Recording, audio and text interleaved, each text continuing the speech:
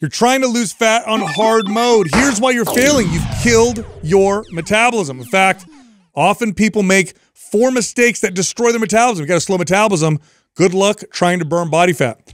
Let's talk about this. Hard mode, video game reference. Yeah, I know. Very good like there. it. So uh, let's we'll, we'll quickly talk about or list what these four things are. Yeah, but list then, them and then we'll go into and then we got to break it down because once I say these, everyone's gonna be like, "Huh? That makes no sense." Uh, so here are the four big mistakes that people make uh, that destroy their metabolism, make fat loss impossible. Eat less. They do a lot of cardio. They take fat burners, fat burning supplements, and they skip meals. Those are the four metabolism killers. Yeah, I think that it's important because you're going to get uh, for sure, especially since most people only listen to the first 30 seconds and then they make a, a decided judgment on what you're going to say. Right. That you're not destroying your metabolism. The metabolism is doing what you tell it It's to do. adapted. Yeah, it's it's adapting and it's recoverable. Uh, it's just not ideal, and unfortunately, most of all those things that you just listed is what most people think they should do when they are going to embark on a fat loss journey. I've right. put on this weight. I've fallen off the wagon. I haven't been going to the gym. I haven't been doing these things. I know I don't eat good. I know I drink. I know I do all these things that are bad for me. Okay, it's time to change my life. Here's the steps. I'm going to start doing cardio. I'm going to eat less food. I'm going to skip some meals if I need to. Uh, I'm going to take the latest, greatest fat burners that are on the market and uh, and hop on This the literally treadmill. your go-to plan. Yeah. and what, what it looks like, and I'll paint the picture, right? If you do those four things, here's what it looks like. You'll lose some weight initially, then you'll plateau real hard, and you'll find yourself in this really uh, difficult place where you're already doing a lot of cardio, you're already eating very little, and you still have 15 pounds to lose or whatever, and you're stuck, and you're like, okay, what do I got to do? Eat even less, do even more cardio, skip meals even more, and you're just stuck in this in this crazy plateau. And then worse, you go have a weekend out with your friends, you come back and you gain weight all of a sudden, and you're so your body it's like your body is ready to gain body fat. So let's let's talk about the metabolism first before we talk about kind of what's going on. So metabolism really is just your body's ability to convert food into energy. Uh, it's the it's the very very complex process of taking what you eat and turning it into things that your body needs and uses to repair tissue, to build muscle, to fuel your brain, your movement. Um, it- it's it's the conversion of food into energy, and it is a very complex complex process. Now, when it comes to weight loss, uh, first off, what we're going to start to talk, to say here is fat loss because weight loss isn't necessarily fat loss. People don't want to lose muscle, or you shouldn't want to lose muscle. Muscle is something you should want to keep. It looks good. It's sculpted. It is healthy. It's body fat people want to get rid of. So uh, let's talk primarily about fat loss and body composition change, meaning you know more muscle, um, less body fat. So in order to lose body fat or just weight, you do need to take in less calories than you burn. But I can also flip that and say you need to burn more calories than you take in. It's the same thing, it's the same formula. And there's two ways you can approach this. I can either A, try to burn more calories on this end, or B, try to take in less calories. But the burn more calories part, this is where things get a little bit interesting. You can try moving more to burn more calories, or I could teach my body to burn more calories on its own. That's the sustainable approach. Yeah. That's the faster metabolism that you want because then it requires less work from you. It doesn't it, it means you don't have to move as much to try to burn more calories. It means your body's burning the calories on its own. It requires uh, quite a bit more clarification, unfortunately, because it's there's that's a whole education of the why. Like, why should I um, build muscle as opposed to just go this route where I know that I can actually just at least lose the weight and I'll see that substantially out of the out of the gates. Right, right. I've, I've always thought too that approaching this like it's um, a marathon, and in the things like eating less, doing cardio, doing all these things that we're talking about, they all can be like potential strategies in winning the overall race. But a terrible idea is to come out the gates in this long race that we have ahead of ourselves and do all these things. You're most likely going to burn your body out, or in this case, your metabolism out. And then what's going to end up happening halfway through this race, you're going to give up or you're going to get crushed because it's just like you can't sustain uh, that way of training for very long. And even if you could potentially get to your goal, you're not going to keep it there because it's not a, a, a, a Literally the sustainable place. tortoise in the hare. Yeah, I mean, yeah, it's- hundred percent. So the metabolism adapts um, to uh, the signals that it receives. So your body's metabolism is very complex, very complex process. It can slow down and it can speed up. In other words, it can it can run off of more or less calories. Now, what determines whether or not it runs off of more or less calories are the signals and the inputs that it gets. This is what tells your body which direction to go. Now, one signal that will almost inevitably called, uh, uh, sorry, cause metabolic adaptation downward is simply reducing your calories. When you cut your calories, initially you'll see weight loss because now you're eating less than you're burning. Remember, if you're burning, let's say 2,000 calories a day and you're taking in a thousand, your body will burn body fat and weight in order to make up the difference. That's where it has that stored energy. But then what happens? Your body starts to learn how to operate now on a thousand calories. This is why you plateau. This is why an initial cut in calories results in some weight loss, but then you plateau very hard. And eating, just eating less, is a very strong signal that tells your body slow down. Now, this is an evolutionary uh, thing that we have. This is uh, it's a good thing. We want an a, a, adaptive metabolism in the sense if if we didn't do this, if our bodies didn't learn how to become more efficient with calories when we have less food, we wouldn't be here, right? We wouldn't be here. We wouldn't have survived famines um, or, or, difficult situations if your body just burned tons of calories, even though you're eating very little calories. Um, we wouldn't have survived uh, for as long as, as humans have. So this right by itself is a signal that says slow down. If your calories are well below what you're burning, that is going to tell your body to adapt uh, downward. Now, cardio uh, activity, although it's great for building endurance and stamina, does the same thing. And the reason why it does this is it burns a lot of calories while you do it, but it doesn't require much muscle to complete. It doesn't require strength. So you're taking in less calories, low calories. You're doing lots of cardio, which doesn't require much muscle. And your body's going to say, we need to slow down our metabolism. We need to be able to perform this task yeah. more efficiently, aka with less calories. And we're taking in less calories anyway. How do we slow down our metabolism? You lose muscle. This is why the data on uh, lots of cardio plus low calories results in sometimes 50% or more of the weight coming from muscle. Muscle is expensive tissue it costs a lot of calories to maintain or to move or to be active. And so your body, one of the primary ways that it it it reduces its metabolic rate is by paring muscle down. So eating less and then doing lots of cardio, which requires very little strength and also burns a lot of calories while you do it.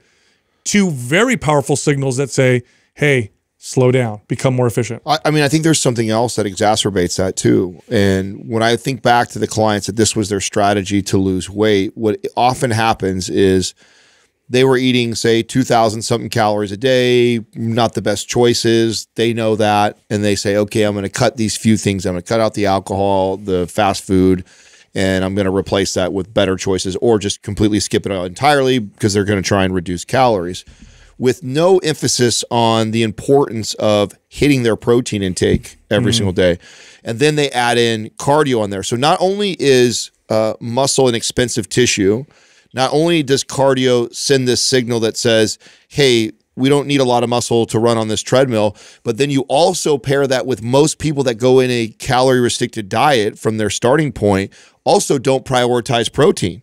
And so it just it accelerates that muscle loss. Like your body needs a certain amount just to tell it it wants to keep the muscle.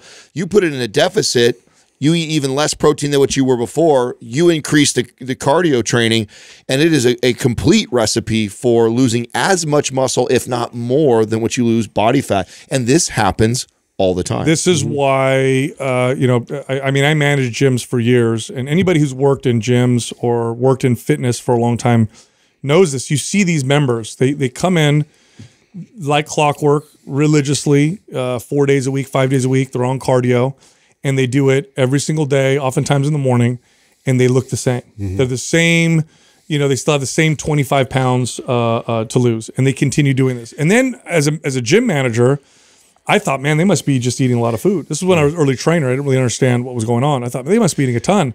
Then I would meet and talk with these people.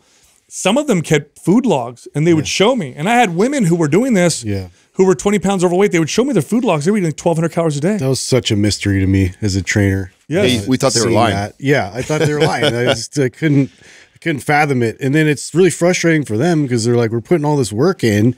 Uh, and I think I'm doing all the right things, but literally, if I wasn't doing this, I would put weight on, and I'm like, oh wow, that's the the state where they were in the plateau, where it's like you know their body had adapted so well to their routine that any increase, it was like they felt that. You know, Hey, sorry to interrupt. This episode is brought to you by From Our Place. Uh, this is cookware that contains none of those forever chemicals. Protect your hormones, protect your family. Eat with stuff that's clean. From Our Place. Click on the link right here for a discount. All right, back to the show. Oh, th- this reminds Sal recently has talked about how somebody mentioned to him that we do what's called grace based coaching or training. Grace based fitness. Yeah, grace based fitness. Where You gotta coin that. I like that. I do like that, and and it, and it does remind me of this conversation because I do remember this part of my journey as a as a coach of learning like, oh wow, these people aren't lying to me. Mm-hmm. These people have been trying really hard, Yeah. and oh my god, imagine being in his or her spot where they're 100 pounds overweight and they're eating two salads a day and a chicken breast and maybe a bagel or something is like their entire meal and they're that overweight like imagine how difficult that must feel to be like where do i go from here and you know once i understood what was going on what we're the point we're making and talking about right now it gave me a whole different approach and i think that's where the beginning of this kind of like grace-based type of training began Yeah. where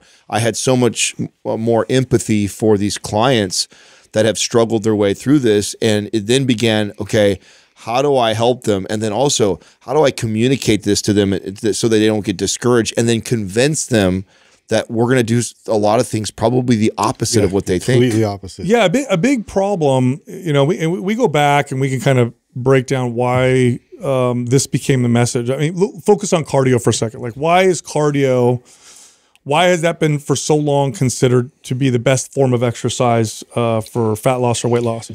Well, when you look at the the formula for weight loss or weight gain, right? This is it's a, a calorie imbalance or an energy imbalance is what they'll say. Calories in versus calories out, which is true. I want to be very clear. This is a, a real thing. This is not false. And there's some wellness people out there that say calories in versus calories out doesn't matter. No, it does. This is the law. It's a law of physics. It's a real thing. Now it oversimplifies, to be quite honest, everything. It's far more complex than just that, but it itself is a real thing. So when you look at it that way and you go, okay, I need to burn more calories than I take in. Okay, so let's look at the burn calories side of the formula. Let's look at all the forms of exercise and let's rank them in order of calorie burn. Well, then cardio becomes king because an you know 45 minutes of running is going to burn more calories than 45 minutes of almost any other form of exercise. Definitely more than 45 minutes of strength training, which burns very little calories Especially traditional in, strength com- yeah, traditional in, in- in comparison. So that's what they did. They ranked them in order of calorie burn. But the problem with that is it completely ignores the adaptations that that form of exercise induces.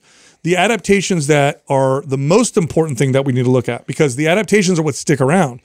Now, what are the adaptations that cardio causes on the body? Well, it does improve endurance and stamina. Look, if you want a lot of endurance and stamina, cardio is going to be one of your best ways to exercise. You want endurance? You got to train uh, for endurance. It's a great way to build that. But if you're looking for weight loss, well, we got to look at this and say, okay, what are the adaptations? I'm getting more endurance. That's that's cool.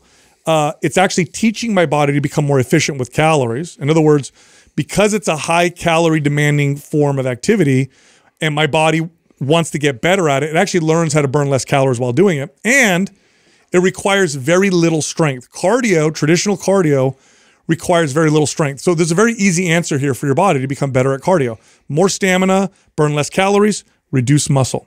And the evidence of this is if you look at the like the, the top distance runners in the world, they're very skinny. They have very little muscle in the bodies in comparison to let's say a sprinter who does more like a strength training uh, version uh, of running, who's very muscular.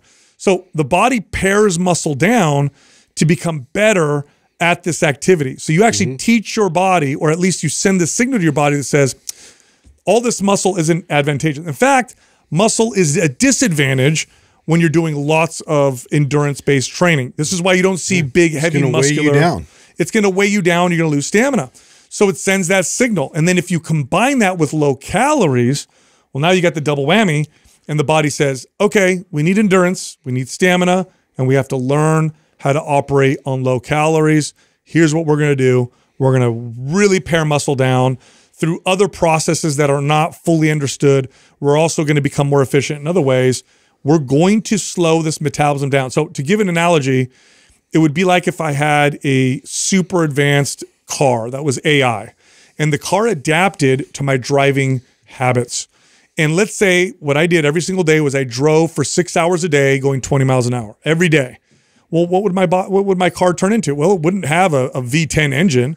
It would become the most fuel efficient car uh, that it could become in order to get me to do this six hour commute for you know at 20 miles an hour. It would become a very small engine. It would be a, four-banger. it would it would burn very little energy. This is what happens to your body when you beat it up with tons of cardio and you just cut your calories. Initially, you see weight loss because it takes some time for the metabolism to adapt, but once it adapts, you are in a very hard plateau. And this is a terrible place to be because I can't tell you how many times I've seen this. And maybe this is you watching this right now. You're looking, you're tracking your calories, and you're like, I'm eating 1,300 calories a day and I'm doing uh, all this cardio. I'm on the treadmill almost every single day. Where do I go from here? Do I cut my calories more? You don't want to do that. You don't want to keep going down. At some point, you need those essential nutrients. And what are you going to double the amount of cardio that you do? Unless you're a, a fitness maniac, nobody wants to do that. So it puts you in this really terrible position, which tends to result in a rebound. This is when people say, screw it, I'm done, and they gain tons of weight back. Well, and you just described what you called the, the double whammy. The triple whammy to that is the not eating enough protein. And Mm-hmm. we know what the what the research says that th- when you're in a cut like this, this is a time when you should probably increase protein even Yeah. more for the likelihood of potentially right. paring down and losing muscle. And that's just not what happens when somebody goes in a cut. They go in a cut, they cut calories, and they just cut it from wherever, not realizing before they even went in the cut they were probably under eating protein as it is, and now they're eating even less. And then they're doing the double whammy. You're saying it's now the triple whammy of Yeah. losing muscle super, super fast. You know, you didn't put it on this list, but I would add it in this category, this portion of the conversation, which is also the overuse and abuse of circuit training and lifting weights in a cardio like fashion. Well, that is cardio. It's just Right. you holding dumbbells. But people don't. They, but people don't know that. Yeah. People think when they take these classes like Orange Theory and F forty five that they're like, oh, they're like, oh, that's not me. I'm not doing just cardio. I do a little bit of cardio, but I'm I'm mostly doing. I'm weight using training. weights as well. Yeah, I'm say. using weights. Therefore, I'm not seeing the same. I'm not getting the same negative effect, and that's Mm. not true. Like if you are using weights in a fashion where you have low rest periods or no rest eh, period. or no rest periods and you're doing it in this circuit based fashion it's way more closer to you running on a treadmill than it is like you doing traditional Yes. barbell squatting very very different adaptations that we're seeking when we're doing that circuit based training and I, I would put that in this category of quick ways to slow down that it's all endurance based training. It's endurance based training, not strength based You're training. still focused on burning calories. That's right. The, the That's right. Uh, now, now let's talk about fat burners here for a second. Uh, fat burner supplements, and those can be loosely categorized into two categories. One are the stimulant based fat burners. These are the ones that quote unquote work.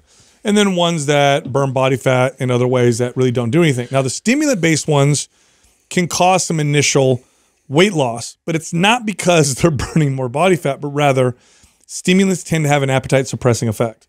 So when you go on, I remember back in the day, this you can't do this anymore because they don't sell these this particular supplement anymore. I don't think it's even legal uh, to do so. But back in the day, the most popular fat burner supplement, stimulant based fat burner supplement, was the what they called the ECA stack, the ephedra caffeine aspirin stack.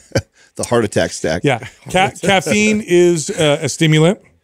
Ephedra, another strong stimulant, and people would lose weight on them. But that's my that's because those stimulants and stimulants in general tend to suppress your appetite and you eat less. Now the problem with that is just like with caffeine. Let's stick with caffeine for a second because everybody has coffee. You know how great it feels to have coffee when you haven't had it in a while. But then when you have it every single day, it kind of loses its effect. That's because your body adapts to the stimulants. So if your appetite is suppressed initially from these fat burners, it won't be for long. And then you take them to remain the same. What do you think is going to happen when you come off? The rebound gets really nasty. And this is what you saw with those very powerful fat burning supplements uh, in the 90s with the ECA stacks is you'd see this weight loss from the appetite suppression. Then they would adapt, not really notice anything.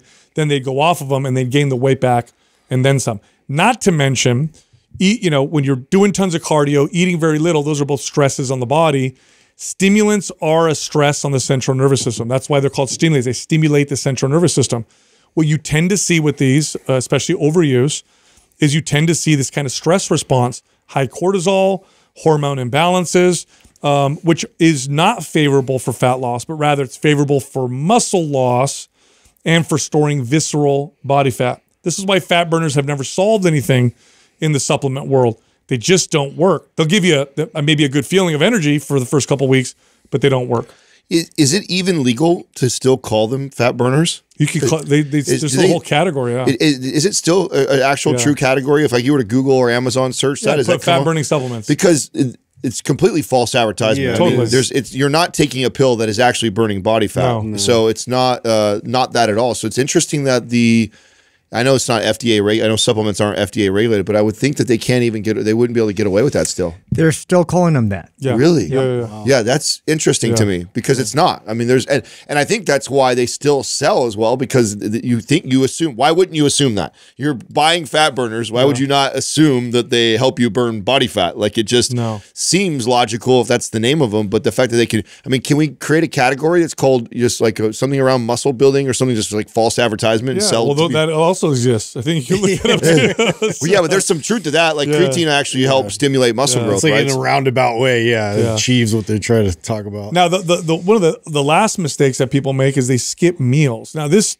this wasn't a thing until I'd say maybe ten or fifteen years ago. Before Intermittent- that, intermittent fasting. became yeah, because we've been we've been in the space for a long time, and I remember what we used to call skipping meals was starving yourself. So we used to say back in the fitness industry. Then uh, it became very fasting. By the way, just to be very clear, fasting has existed for thousands of years. It's it's it's the first diet that was ever talked about was fasting, but it was never to lose weight. It was always as a as a spiritual process. It was always a disconnect. a practice of, of detachment Yep. um, from worldly things. It's present in every major world religion. One of the side effects of not eating though is weight loss. So of course, uh, you know, with the with diet culture, they said, "Oh, fasting.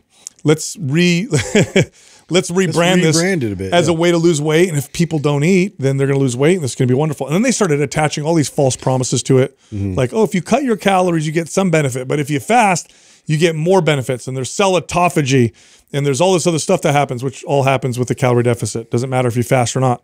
Um, it's a terrible approach to fat loss. First off, it encourages uh, this this relationship with food that looks a lot like restrict and binge. Yep. Restrict and binge. Number two, if you ate the same amount of calories uh, as, a, as another person, but that person ate all their calories in two meals, you ate all yours in let's say four meals spread throughout the day, the two meal person or the one meal person tends to have more stress markers, and we're starting to see this now. You're starting to see this more more common in women.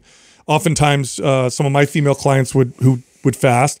We would send them to a functional medicine practitioner. It's affecting their hormones. And yeah, one of the first things they said was, "Don't skip meals anymore Yeah. because this is causing stress on the body." It does elevate things like cortisol and stress hormones, which can feel good at first. Is why one of the reasons why people feel more energy. But I mainly the main reason why I don't like skipping meals, it makes it hard to hit your protein targets, and it also uh, it encourages this like restrict binge, restrict binge. Like I don't eat till three o'clock. I can't wait, can't wait. Then it comes just around. encourages a bad relationship going forward That's with right. food and that's you know not preferable i mean as much as it's great to kind of uh, step back and reduce calories you know to skip a meal this is just one of those things that just creates that sort of uh, um, well i can't have it like and it's almost like that punishing effect and now i can't have it so it's it's just this urgency towards all of a sudden now i need to consume it all because i can Hey, sorry to interrupt. Look, I have a free guide that teaches you how to lose fat in three steps, just three steps that will burn the most amount of body fat and help keep it off. This guide is totally free. We're giving it to everybody right now. If you want it, click on the link at the top of the description below. All right, back to the show. I- I'm just going to keep beating the protein drum because when you when we're the whole point of this conversation is about the metabolism and the you know fir- first surefire ways to slow your metabolism down and what do you want to do in order to build your metabolism? And one of the fastest ways to slow the metabolism down is to lose muscle off, off your body. It is definitely going to slow that down and slow it down. I mean, eating less, you've already pointed out, doing cardio, all those things, and then you continue to lose muscle. Every client that I've ever trained that doesn't matter if they were trying to lose weight, build muscle, doesn't matter what their journey was, when I assess their diet, the number one thing I have always had to communicate is we need to get more protein. And so if you take this person who is trying to get a faster metabolism or definitely doesn't want a slower one than they already have, this is a recipe for disaster is skipping. This is why I was actually even I know that early on when we first started the show, we talked a lot about the myth behind lots of small meals.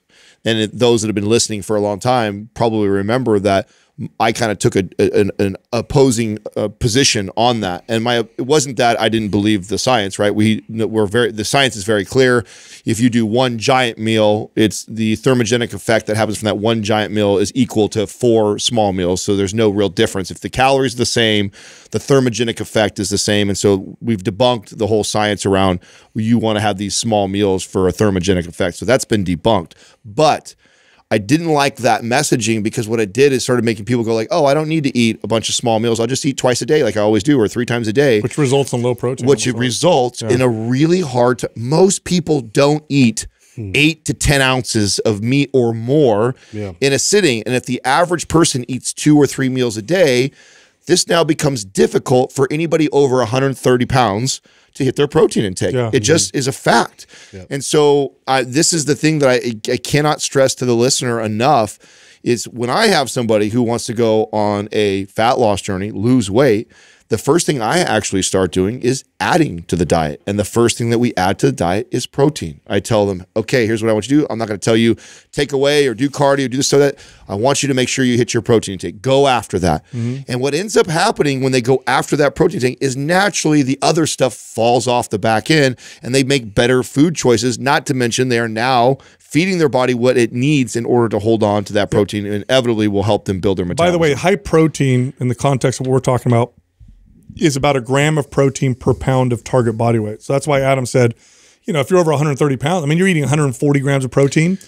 And what are you gonna do? You got two meals. Yeah. That's 70 grams of protein in two meals. Difficult to or 140 grams of protein in one meal. I can't do that myself. Right. Let alone 140. As, as a little 140 pound girl or guy, like that's yeah. small. It's just not going to happen. By the way, with muscle loss, uh, what you know, we're talking about slowing your metabolism down with losing muscle.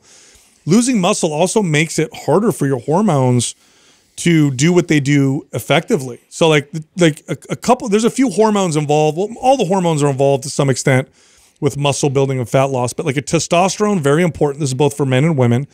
And then how sensitive your your body is to insulin can also impact your body's fat gain or fat loss, right? We know this. We know when you start to lose insulin sensitivity, when you start to become insensitive to insulin or, or you become pre-diabetic, like you just tend to store more body fat. We also know that testosterone is a body composition changing hormone. If you take a man who's low testosterone and you have his, him raise his testosterone, or a woman with low testosterone have her raise her testosterone, they tend to have more muscle, less body fat, regardless of the calories and all that stuff. So those are very important things for body composition. Well, here's why muscle is so important. First of all, building muscle you increase the amount of androgen receptors that you have in your body.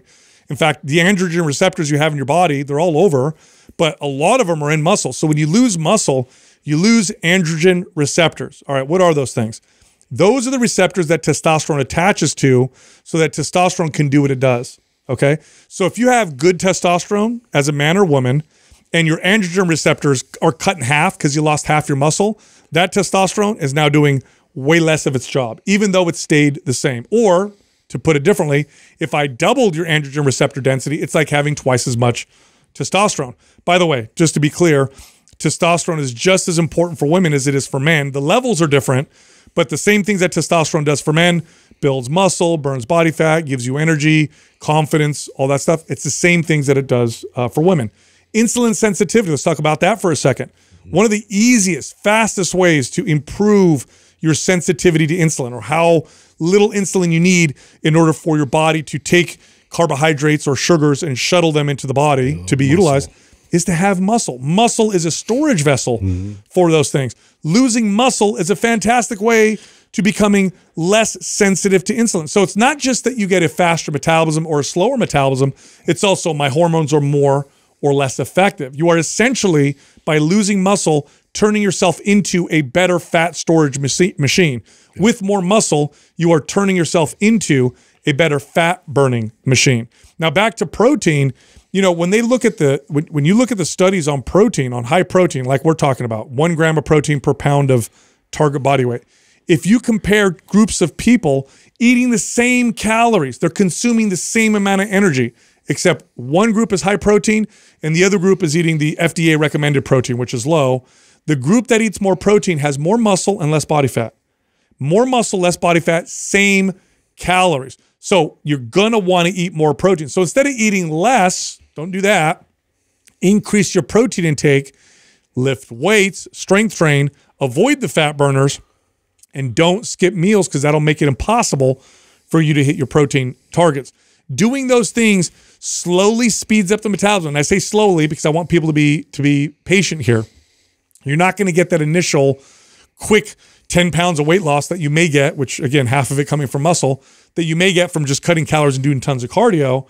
It'll be a little slower. However, I will say this part of the reason for that is you're losing fat and building muscle. So the scale might not move, but you'll look smaller. I, I can't tell you how many times I would have a client in the first 60 days uh, of training with me come to me and say, coworkers are telling me I'm losing weight, even though I know I haven't. Like, well, you lost fat and you gained muscle. You're smaller because muscle's dense. You'll look better, but your metabolism's faster. So as the metabolism speeds up, the fat loss looks different. Instead of that initial fat loss and plateau or weight loss and plateau, you see a snowball effect of fat loss where it accelerates as you continue on this progress, not hitting plateaus and setting yourself up for long-term success because now a fast metabolism allows you flexibility to eat more food and to live your life. By the way, one last uh, like wonderful point here: strength training requires less uh, in order to exert its adaptation benefits. In other words, one or two days a week of strength training will build muscle, will make you stronger,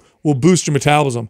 Cardio, you want to burn a lot of calories. Cardio, you got to do it every single day. Yeah. So it's another reason why uh, you know strength training is just the the, the best form. And of the exercise. beautiful, you talk about that snowball effect. What's what's really cool about that slow process of building the mu- building your muscle, increasing calories, reverse dieting, and it like slowly, and then all of a sudden it starts to accelerate. Is not only does the fat loss accelerate, but it does it while you're simultaneously eating more than what you were before. That's right. Which is like mind blowing. mind-blowing. Mind blowing. You take you want to radically change a client's life.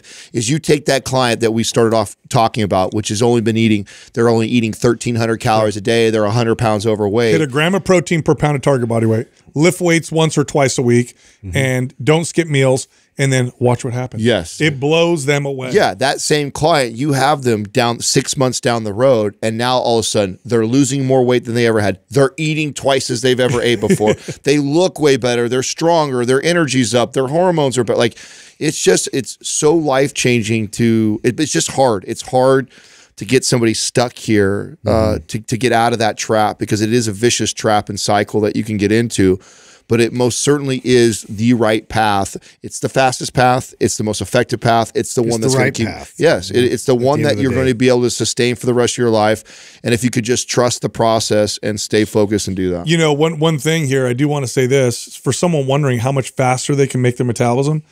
Uh, routinely, routinely, I would get somebody's metab- metabolic rate to go up by 500, 800, 1,000 calories. It wasn't unheard of for me to get someone's metabolism even faster than a 1,000 calories. And I'm talking about everyday average people who are middle aged. I'm not even talking about younger people who are already healthy and all that stuff. So it will happen and it will happen reliably so long as you're as you're consistent and patient. All right, we've got some questions here. The first one is How many calories does a pound of muscle burn? Oh Yeah. boy, controversial question. Yeah, so this this one's uh, controversial because when you if you look this up, uh, what you'll see is a pound of muscle at rest burns six calories, whereas a pound of body fat at rest burns like a calorie or something like that. So it's like, oh, it's not that much more. First of all, it is a lot more if that were simply true by itself. But number two, the metabolism is way more complex than that. Okay. Way more complex than that. In fact, simply sending the signal to build muscle and starting to feed yourself more before you build muscle already gets your metabolism to burn more calories. In other words, same lean body mass, but you're burning more calories. The metabolism is quite complex. There's many mysteries to it, but the process of speeding up the metabolism is a lot more than just this many pounds of muscle burns. Because I would get, you know, when I say I would routinely get people's metabolisms up by 800, it's not like these people that were training would gain 20 pounds of muscle. They're Right. like eight pounds of muscle, That's five what pounds of muscle. disconnect is. Yeah. Yeah, like if I if I got a woman, a female client, to gain eight pounds of muscle, and we did this right, you, typically they're burning 800 more calories a day. Uh, what does that translate to? 100 you know calories per pound of muscle. It's there's a lot more going on than just uh, what, there's way more. This I, this I'm I'm glad they asked this question, but I also really get fired up when I see people in The our wrong question. yeah, when I see people in the space having this debate of they try and come out and they debunk, oh, someone like Sal saying, oh, I got a girl to add 10 pounds of muscle and she's now eating 800 more calories. They try and come around and be like, oh, that's bullshit. This is what the science says. Eight pounds of muscle only equates to an extra 50 calories a day. There's no way that he increased her metabolism that fast. And that is such a terrible message. And it's so stupid because you're, you're like, they're, they're literally taking out, like comparing this, the muscle versus the fat as, and in idle, in a lab, in a situation like that, when you're not accounting for that person who you got to build eight pounds of muscle, what we, what you know they had to do, they had to have good programming. They had to uh, recover properly, which means they're probably sleeping better. yep. Their hormone profile is probably improving, if not significantly. All these things, okay, are going to impact their total calorie burn and their metabolism. And that's what we know. Back to your point about how complex the metabolism, we don't even fully grasp it. Eh, But what we can tell you from people that have been doing this for well over two decades, it definitely makes a massive Look, difference. if you look at the body too as a machine, and we have all the building components and the way that we're setting it up, this machine just works at a higher level, at a, at a more optimal level, if this is the direction that we go with it. So, Yeah, you know, and, and this reminds me of that study that I bring up all the time. And there's other studies that have, that have been done on this where the study that I typically quote was the one done on modern hunter gatherers, where The Hadza tribe. scientists went to northern Tanzania and studied the Hadza tribe. And through sophisticated testing, we were able to test their metabolic rates. Now, they these are hunter gatherers, okay? They don't have electronics. They don't sit down and watch TV. They don't have social media. They hunt and they gather, meaning they're gathering. And when they hunt, they'll throw a spear at something, wound it, and chase it for miles until it gets exhausted. they should be burning a ton of calories. And and they, and you know what they found? They burned right around the same calories as the average couch potato.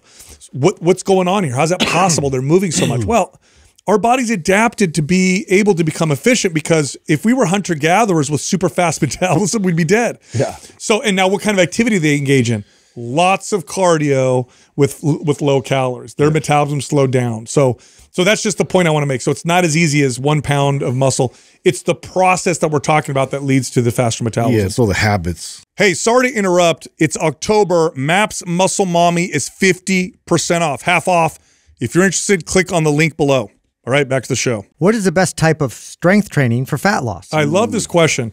There is no different type of strength training for fat loss and muscle building and whatever. The best type of strength training program is the one that builds the most strength. Yeah. Period. End of story. slash muscle. That's it. So if you want to get the best strength training program for fat loss, follow the one that is producing the best strength gains for you uh, and the, the best muscle gain for you. That's going to be the best one for fat loss.